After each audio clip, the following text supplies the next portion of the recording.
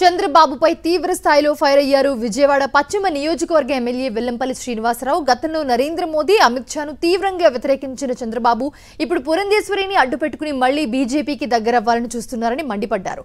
పొత్తుల కోసం ఆరాట పడటమే తప్ప ఒంటరిగా పోటీ చేసే ధైర్యం చంద్రబాబుకు లేదన్నారు వెల్లంపల్లి.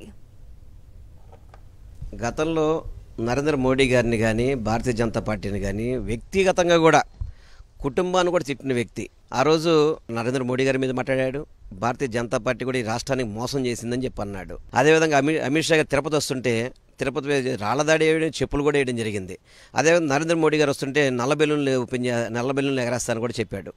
మళ్ళీ ఈరోజు వాళ్ళ పొత్తుల కోసం అని చెప్పని వాళ్ళ గుమ్మాల దగ్గర వాచ్మ్యాన్ లాగా వాళ్ళు ఎప్పుడు వస్తారో వాళ్ళు తలుపు తెస్తే వెళ్ళి అడుగుదామని చెప్పని ఈరోజు ఒక చెప్పాలంటే ఎంత చీప్ అయిన వ్యక్తి పద్నాలుగు సంవత్సరాలు ముఖ్యమంత్రి చేసిన వ్యక్తి ఈరోజు పురంధేశ్వరి గారిని వేసుకొని చివరికి ఆమె రికమెండేషన్స్తో మళ్ళీ ఆంధ్ర రాష్ట్రంలో పొత్తుల కోసం ప్రయత్నం చేస్తున్నాడు.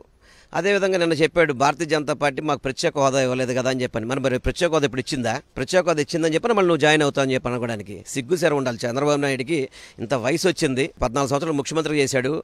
ఇప్పుడు నలభై అన్నాడు నలభై ఐదేళ్ళు పెరిగింది నలభై ఐదేళ్ళు ఇండస్ట్రీ అన్నాడు. సింగిల్గా పోటీ చేసే దమ్ము లేకుండా ఎన్నాళ్ళు నువ్వు ఇక రాష్ట్రంలో ఉంటే మాత్రం ఉపయోగం ఉందని రాష్ట్ర ప్రజలే అంటున్నారు ఈరోజు. సింగిల్గా ఏ రోజు కూడా అతను పోటీ చేసే సత్తా దమ్ము ధైర్యం లేదు అతనికి.